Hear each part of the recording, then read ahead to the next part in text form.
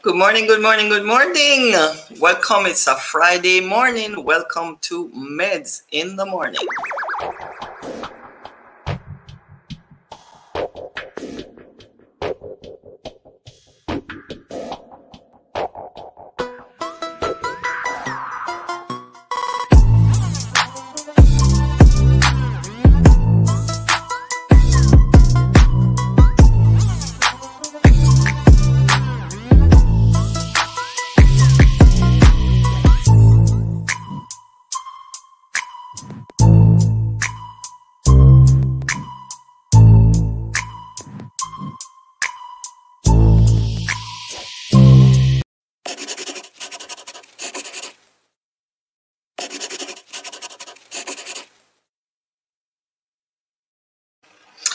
Thank you again for coming. It's a Friday morning. You know how I like to sing. It's a Friday morning. Bim.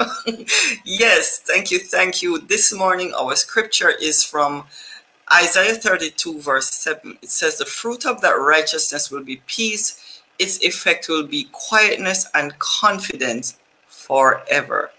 Now, the fruit of righteousness will be peace, the fruit of uh, trusting in God, the confidence, you, you have confidence in God and you will have peace and confidence. The effect of peace is that you have quietness and confidence. That means no chaos in your mind, no worry, no fear, no wondering what if. Sometimes we have more what ifs than an Excel spreadsheet. I mean, come on, this is a God we serve. He's saying here, as a matter of fact, you know, let me just look up that scripture for you right now and I want to see the verse that comes before that. So just let me put that in, in my favorite website here. And it's Isaiah. Come on, come on, come on. 32. Uh, here we go.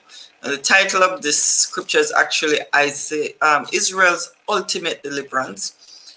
And his verse 16 says, Justice will rule in the wilderness and righteousness in the fertile field, and this righteousness will bring peace. Yes, it will bring quietness and confidence forever. Verse 18 goes on to say, My people will live in safety, quietly at home, they will be at rest. But it continues. I'm going to read verse 19 and verse 20 because this is some powerful words here.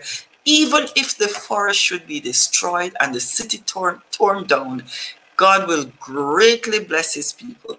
Wherever they plant seed, bountiful crops will spring up.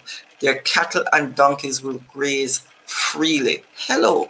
That's a serious promise right there. So no matter what you see happening, even if the walls are torn down, even if the forest be destroyed and the city torn down, God will greatly bless you. Therefore, trust in him. Our affirmation continues because God has given me rest in Him. My trust in Him is total. He is my defense and help in times of trouble and my provider. This was Medz in the Morning. You have a wonderful weekend. May the Lord bless you and keep you. May He keep your house in peace. May the light of His countenance shine upon you. And I thank you for coming. Thank you for continuing to support this channel. Hey, we're currently at 92 subscribers and I need just eight more just eight more so that I can get my own channel name. So it wouldn't be youtube.com slash gibberish, but youtube.com slash Sylvia M. Dallas. Easier to find. Have a wonderful weekend and God bless you.